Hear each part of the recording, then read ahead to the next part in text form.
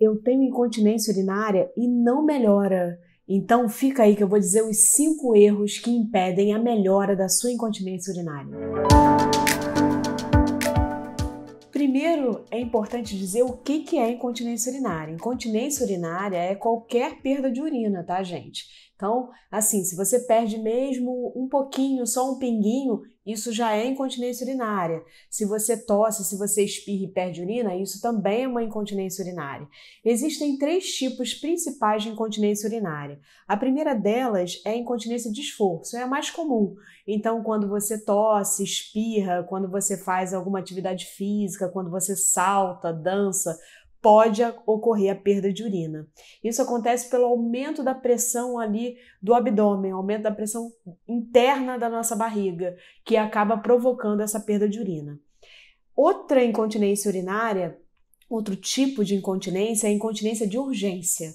Sabe quando dá aquela vontade louca de ir ao banheiro, você tem que sair correndo para ir ao banheiro, mas no caminho perde urina? Isso é incontinência de urgência. Tem pessoas que têm só urgência urinária. E o que é urgência? Urgência é só ter essa vontade muito forte de ir ao toalete, mas a pessoa consegue chegar ao toalete e não perde urina. Mas mesmo assim, fica aí a ressalva que deve procurar fisioterapia pélvica para tratar a urgência tá bom? Porque isso, imagina, atrapalha muito a qualidade de vida. Você fica já, você já chega num lugar pensando num banheiro, né? Será que aqui tem banheiro e tal? E quem tem incontinência urinária mais ainda, às vezes até impede a pessoa de sair, de se divertir por conta desse problema que realmente tem um impacto muito negativo na qualidade de vida e tem como tratar. Então eu falei primeiro da incontinência de esforço, depois eu falei da incontinência de urgência e agora eu vou falar do outro tipo, que é a junção das duas. É incontinência urinária mista. Então a pessoa tanto tem é, perda de urina quando tosse, espirra, faz um esforço, dá uma gargalhada, por exemplo, como também tem a perda de urina associada à urgência, né? Ter que ir várias vezes ao banheiro ou é, no caminho do banheiro perde urina. Tá? Então, essas são as, as três mais comuns é, incontinências urinárias. E aí, gente, tem muita gente que fala assim: caramba, eu não melhoro. Eu vejo, eu já vi na internet, eu faço exercício e não melhora, eu já fiz pompoarismo e não melhora. Então vamos lá. Bem, é, o pompoarismo, por exemplo, não é uma técnica que trate exatamente é a melhor técnica para tratar incontinência urinária. Por quê? Porque há uma, uma receita de bolo, normalmente. Quando esse pompoarismo é feito por um fisioterapeuta que avalia, tudo bem, mas no geral há uma receita de bolo, então todo mundo faz aqueles mesmos exercícios. E aonde que está o erro aí? O erro está em não avaliar você. Então, quando não avalia, quando você não tem uma noção de como está o seu assoalho pélvico, né? Aquela região que eu sempre falo que vai do clitóris, né, até o ânus, toda essa região é uma região de músculos. Então, quando não há uma avaliação prévia, você acaba não sabendo se você está fazendo direito ou não. Tem pessoas que expulsam ao invés de contrair. A gente chama isso né, de uma inversão de comando. Então, ao invés de puxar para dentro, a pessoa puxa para fora, a pessoa puxa para fora, não, a pessoa coloca para fora o assoalho pélvico, e isso não é, é nada legal para uma incontinência urinária. E é, tem pessoas também que não sabem, não tem contração, tem pouca, tem fraca.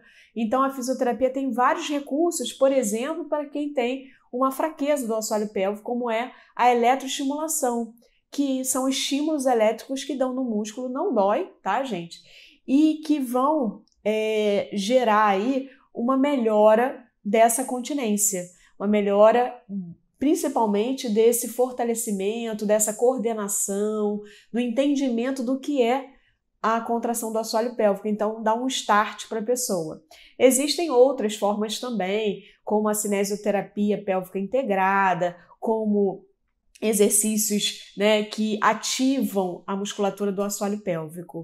O primeiro erro é não avaliar o assoalho pélvico. tem que avaliar. Ah, Mônica, mas eu moro longe, não tem como eu fazer essa avaliação. Então, vai lá sozinha, lava as mãos bem lavadinhas, coloca um olhinho de coco e faz um toque aqui no canal vaginal. Aqui dentro, né, você vai sentir a sua contração. O que, que você tem que sentir quando você coloca o dedo e faz uma contração? Você vai sentir uma elevação do seu dedo e um puxar do seu dedo ao mesmo tempo. Então o dedo vai para cima e para dentro, para cima e para dentro. Então, isso é que você vai sentir aqui dentro. E se você pegar um espelhinho, fica melhor ainda, porque quando você, antes de você colocar o dedo, você pode olhar essa musculatura e ver né, o centro do assoalho pélvico fazendo a contração. Então você vai ver essa a vagina né, indo para dentro, fazendo essa contração. E aí fica mais fácil depois, quando você colocar o dedo, de você identificar, beleza? Então, você já sabe, bem, eu consigo contrair, eu não faço expulsão, né? Eu não. É, eu tenho uma certa força, posso não ter muita força, mas eu tenho uma certa força, então já dá para praticar os exercícios. Aí, e tem vários vídeos da ginástica íntima, que é uma maneira mais coloquial de chamar a fisioterapia pélvica. No, no, sempre o cerne da questão é a fisioterapia pélvica. Mas para popularizar a fisioterapia pélvica, eu usei esse nome ginástica íntima, tá bom? Procure aí que tem, ó, vídeo assim. Outra coisa é não trabalhar a musculatura vizinha ao assoalho pélvico. Então, os músculos abdominais, por exemplo, os glúteos, né? Então, principalmente os músculos abdominais, eles são muito importantes, porque toda vez que a gente faz uma ação, toda vez que a gente está se movimentando, há uma participação do abdômen. O abdômen é um músculo postural importante. Então, quando você tosse, quando você espirra, quando você dá uma gargalhada, ele está lá né? E aí, se você tem um abdômen que trabalha contrário a essa musculatura, não vai dar certo. Por exemplo, faz aí agora em casa, tosse. para onde vai sua barriga? Ela vai para fora ou vai para dentro? Bota a mão lá e vamos fazer de novo. a barriga deveria ir para dentro. Quando a barriga vai para fora, ela está empurrando esses órgãos pélvicos, a bexiga, o útero, o reto no caso da mulher, e a bexiga e o reto no caso do homem, para é, fora, né, contra a musculatura do assoalho pélvico. Então vejam bem, isso não é bacana. Então é uma coisa que você já tem que prestar atenção. Por isso que a gente deve trabalhar a musculatura para que, que na hora que você faça um esforço, as duas trabalhem num ritmo adequado, para que não haja incontinência urinária. Então, o segundo erro é não trabalhar a musculatura vizinha ao assoalho pélvico. O terceiro erro é não tirar a cafeína da sua dieta. O café, o mate, a Coca-Cola, tá, gente? Refrigerantes, até de um modo geral, é, não são legais para a bexiga, principalmente para quem tem aquela incontinência de urgência. Quem tem urgência, quem vai toda hora ao banheiro, né, que não pode ver um banheiro que já quer ir, que fica preocupada, né, de ai meu Deus, me dá vontade, ai, será que eu vou conseguir viajar? Será que eu vou conseguir chegar? Então, essas pessoas devem tirar a cafeína. A cafe... Por quê, né? A cafeína ela faz, ó, a bexiga ficar nervosa, a bexiga ter mais contrações. E isso, obviamente, vai gerar uma incontinência urinária para quem já tem um problema, tá? Então, café, mate, chá verde, Coca-Cola, pode tirar da sua dieta. Além disso, também não é aconselhável refrigerantes, água com gás, alimentos cítricos, tá? Frutas cítricas, por exemplo, limão, laranja muito amarga, também não são recomendados para essas pessoas que têm uma incontinência de urgência. Pimenta, então tira isso da sua dieta e você vai ver que vai melhorar muito. Vamos então ao quarto erro. Não fazer os exercícios domiciliares que o fisioterapeuta pélvico passou para você. Às vezes eu converso com os meus pacientes, ah, e aí, fez o exercício? A pessoa já fica logo. E aí, quando eu vou conferir, né? não fez o exercício. Então, para você não ficar, né, vendo grilinhos na hora que o seu fisioterapeuta pergunta se você fez o exercício domiciliar e para você realmente melhorar e mais, para você acelerar o resultado do tratamento, não deixe de fazer os exercícios domiciliares que o seu ou a sua fisioterapeuta pélvica passam, tá bom? Acho que agora todos os fisioterapeutas pélvicos vão falar: ai, obrigada, Mônica, por esse vídeo. Mas é isso aí, tem que, tem que melhorar. Para frente é que se anda, não é isso? Bem, e vamos então ao quinto e último erro que você comete e aí não está melhorando a sua incontinência urinária.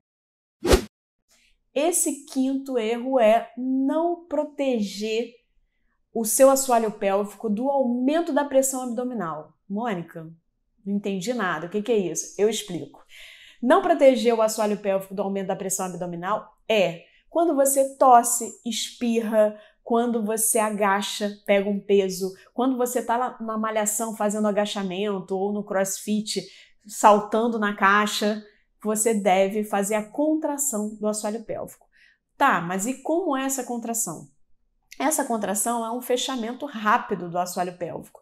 Então, quando você tossir, por exemplo, você vai fazer. Vamos fingir que isso daqui é meu assoalho pélvico, a vagina e o ânus. Então, quando você tossir, você vai fazer isso aqui. tá? Ao mesmo tempo. Vamos treinar agora para ver se você conseguiu entender e se o seu corpo conseguiu entender? Eu vou falar para a gente tossir e ao mesmo tempo você contrai lá embaixo contrai a vagina e o ânus, tá? Então contrai e o homem que estiver assistindo aí também pode fazer, contrai o ânus, tá? É uma contração, ó, uma piscadinha. Agora, vamos lá, tosse. Beleza? E a barriga não é para sair, hein? A barriga não é para estufar, tá? Barriga vindo para dentro. barriga e assoalho pélvico.